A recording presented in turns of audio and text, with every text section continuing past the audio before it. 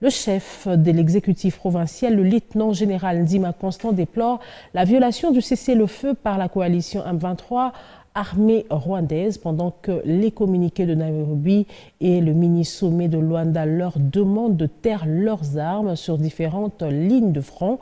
Il a ainsi déclaré à son arrivée ce samedi à Goma après sa participation à la conférence de gouverneurs. Le détail dans cet élément que nous signe Patrick Osialois.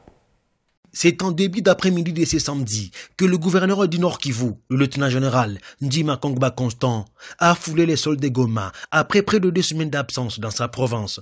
Abordé par la presse sur la situation sécuritaire en province, le chef de l'exécutif provincial a déploré la violation du cessez-le-feu par la coalition M23 armée rwandaise, conformément au communiqué de Nairobi et du mini-sommet de Luanda. Pendant notre absence, nous avons reçu les rapports aussi de front euh, qui nous a vraiment touchés parce que les accords euh, de mini-sommet de Luanda, une fois de plus violés par euh, le M23 RDF, au moment où nous parlons, les lignes commencent encore à, bouger et ce qui dérange davantage notre population qui n'en fait pas.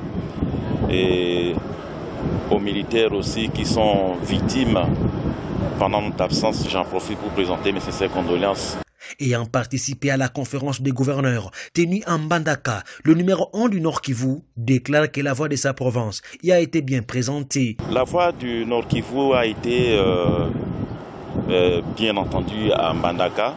Vous savez, aujourd'hui, le monde commence à comprendre aussi euh, le plan contre la République démocratique du Congo en rapport avec le projet de balkanisation et c'est dont euh, notre population ne cédera pas. Soulignant qu'au pied d'avion, l'autorité provinciale a été accueillie par le vice-gouverneur, le commissaire divisionnaire Romy Ekoukali Popo, entouré des membres du comité provincial de sécurité.